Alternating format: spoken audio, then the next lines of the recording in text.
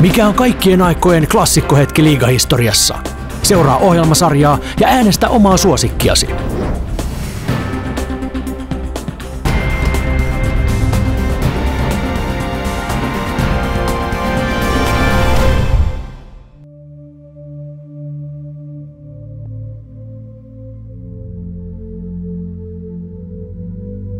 Kyllä meillä oli niin, niin vahva näkemys ja pelkästään näkemys, vaan tunne ja se päätös, että nyt, nyt tai ei koskaan, että nyt tässä on meidän hetki. Helsingin IFK-mestaruusjoukkue keväältä 1998 on kenties liigahistorian nimekkäin ja paras joukkue. Ryhmässä oli mukana isoja egoja, värikkäitä persoonallisuuksia, mutta joukkue oli silti yhtenäinen, toisilleen pelaava joukkue.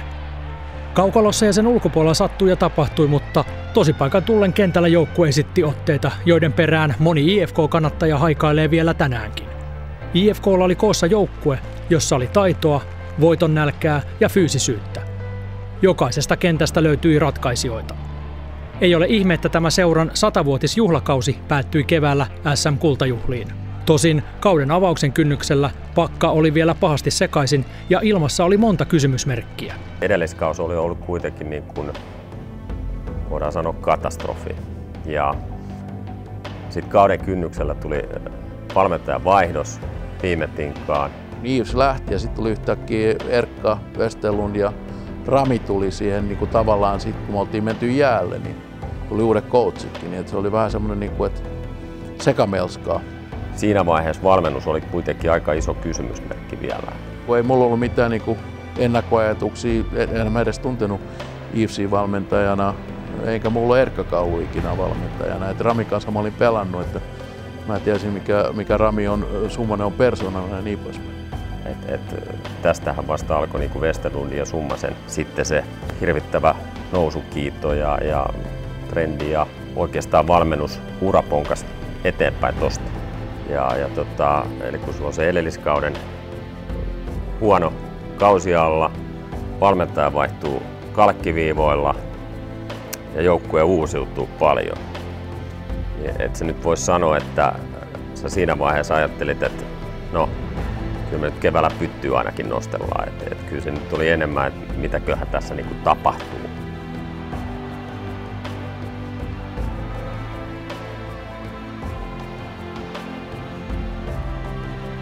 Mulla oli ollut syksyllä isoja hankaluuksia siinä. Kapteeni se oli revitty rinnasta ja, ja tota, valmennus ja joukkueen johto Kekeläinen halusi myydä mut ja fanit ei halunnut päästää irti ja, ja johtokunta päätti, että mua ei saa myydä. Kuitenkaan se nyt ei ollut valmennusjohdon kanssa, oli enemmän Ramin kanssa. Ja... Siinä sitten menettiin Summasen Ramin kanssa pari viikkoa 200 luistelukouluun siellä ja, ja tota, kaikkea muuta kivaa. Se kapteenin vaihdoksen kohdalla, niin koska sulla on jo, nuori joukkue ja sulla on aika vahva persona kakkosvalmentajana, niin tavallaan niin kuin, mä näin sen myöskin itsekseni, että ehkä on parempi, että ainakin sit on yksi, joka uskaltaa sanoa vastaan, jos vähän alkaa mennä yli. Mä no, ehkä sanoa, että se oli paras, että mä otin sen. Mä juttelisin Köllin kanssa kahdestaan myöskin. Että, että, että mä haluan, että Kölli jatkaa jenkin, se oli, se oli se tärkein asia. Sitten tapahtui se viimeinen palanen tuohon mestaruusjoukkueeseen, että Jokisen Olli soitti ja sanoi, että tota, hän on tulossa NHLstä takaisin ja hän on seurannut, että mullakin on vaikeuksia. Ja IFKsta oltu hänen yhteydessä. Tietenkin Olli pelasi edellisen kauden meillä. Me pelattiin samassa ketjussa ja, ja tota, homma toimi oikein piru hyvinkin. Ja hän sanoi, että hän ilmoittaa heille, että, että meidän pitää pelaa samassa ketjussa, niin hän, hän tulee. Näinhän se pirulauta teki nuori poika. Ja Olli tuli takas. Meidät lyötiin Hurme, Make, Olli ja minä samaan ketjuun ja me tehtiin ihan älyttömästi pisteitä heti kun se Olli tuli.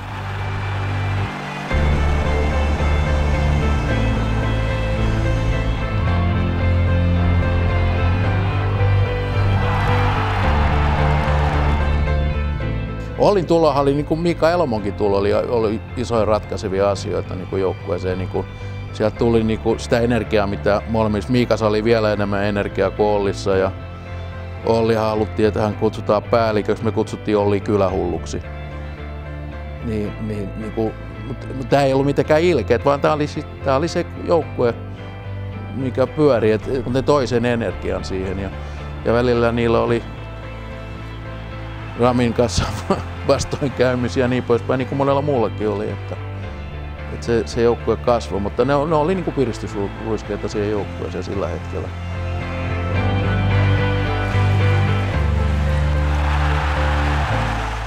Me lähdettiin pudotuspeleihin. Ei ollut mitään epäselvyyttä siitä, etteikö me voiteta, voiteta mestaruutta.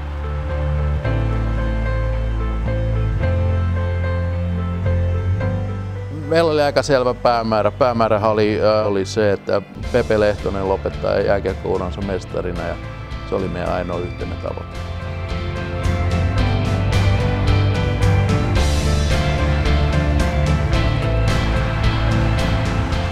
se pukuhuone itseluottamus oli aika hu- huima. Yksikään peli ei ollut semmoinen kyseenalaistettu, ettei me noita voiteta. Kysymys on vain paljon ja kuinka nopeasti. Ei meillä ainakaan pelkoa. Itsevarmuus oli kova luokka.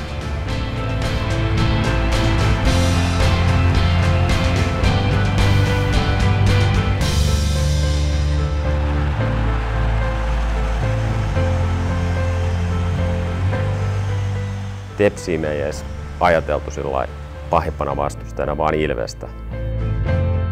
Mä muistan, kun IPA tuli ja me nähtiin se tilasto, että me ollaan voitettu niitä runkosarjassa, niin no, no nythän se on aika voittaa.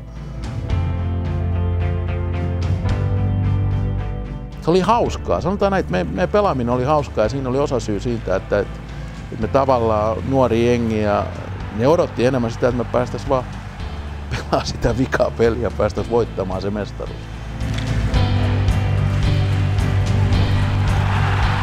Se dominointi oikeastaan niin kuin konkretisoitu Kari Kalton maaliin ja, ja tota, siihen, miten hän niin kuin höynäyttää Raipe Helmistä. Ja kun sitä niin kuin harvoin tapahtui, kun yleensä se oli päinvastoin.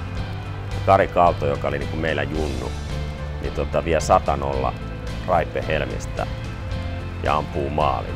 Niin se, se mun mielestä kuvasi sitä ottelua ja jotenkin se kuvasi, antoi ison kuvan myös koko niin sille sarjalle ja, ja tota, meidän playoffeille. Et kyllä, kyllä niin kuin, meillä oli kyllä huikeet, osaamista kuitenkin Kaato pelasi nelosketjussa. Siinä on symboliikka. Se vaikein peli koko finaalissa oli kolmas peli oli, oli ajatuksena sitten, että ei missään ei vaan voi nähdä, että tämä voi olla katkolla. Että unohtakaa, että, että ei vaan tuu sitä, että me ei haluta nähdä mitään, että jossain on, että tänään voi kausi päättyä. Ruvettiin valmistautua siihen kolmanteen finaaliin himassa. Niin huoltajat kantoi samppaniaa sinne takahuoneeseen jo. Mennään alkuveryttelyyn katsotaan kattoon, kattoon täynnä ilmapalloja. Jo sitä varten, että sieltä nykästää jostain narusta ja ilmapallot putoo jäähän. oli, se oli just se väärä, väärä reagointi, mitä ei halunnut nähdä, että ei missään voisi olla, että voisi mestaruus katketa tänään, niin siellä oli verkot täynnä ilmapalloja Helsingin katto. Meillä kaikilla vähän karkas se ajatus siihen, että, että mitäköhän mitenköhän nämä niin juhlat tästä alkaa. Siinä pelissä Ilves oli tosi vaikea. Mä, se Tonin maali ei, ei tavallaan sitä hirveästi vapauttanut. Ei ollut sitä rentoutta.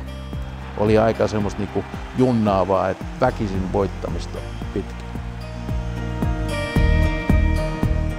Ja oikeastaan se kolmannen erän loppu oli jo kuitenkin sitten, että sitten me ruvettiin pääsee sille omalle tasolle ja, ja, ja niin päätettiin se, että Tampereelle ei enää lähetä.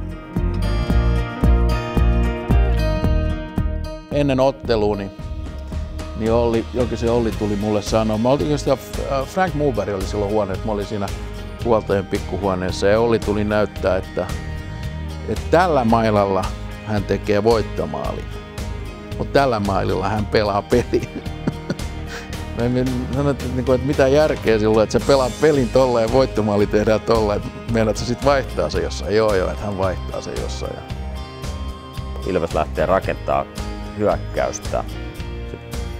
Me saatiin poikki se Ilveksen hyökkäyksen poikane meidän alueella. Mä sain siinä jossain sinisen keskialueen nurkalla kiekon ja näin vaan, että Olli on siinä jossain vieressä ja Ilves jatke tulee päin ja siirto Ollille.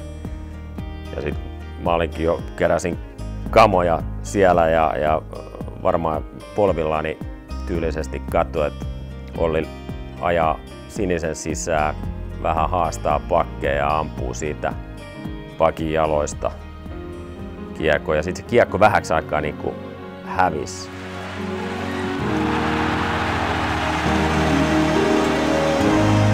Kyllä siinä semmoinen niin kuin pysäyttävä hetki on se, kun näkee, kun Olli rupeaa rykäsee heittää kypärää veksi ja koko vaihtoehto tyhjenee, niin, niin tota, siinä vaiheessa hiffas, että jumakautta. Se on, se on taputeltu. Tässä se on. Mun ensimmäinen ajatus oli penkillä istuessa, että kumpi mailla. Mä kävin kysymässä Olli, että kumpi mailla oli sanonut, että se voittomailla. Et, et se oli vaihtanut mailan jatkoajalle. Että.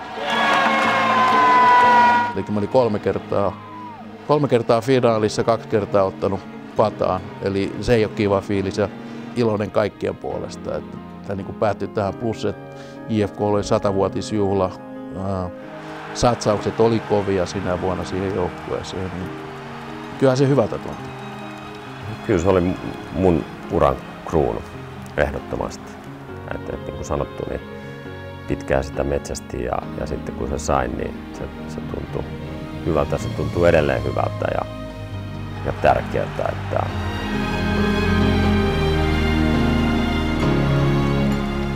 jotenkin nämä jälkikäteet, jos ei sitä olisi tullut, kun se oli se ainoa, niin kyllä mä ehkä tässä vieläkin sitä niin kuin miettisin, että kun olisi tullut edes se yksi mestaruus. Että, että niin tärkeä se on. Thank you.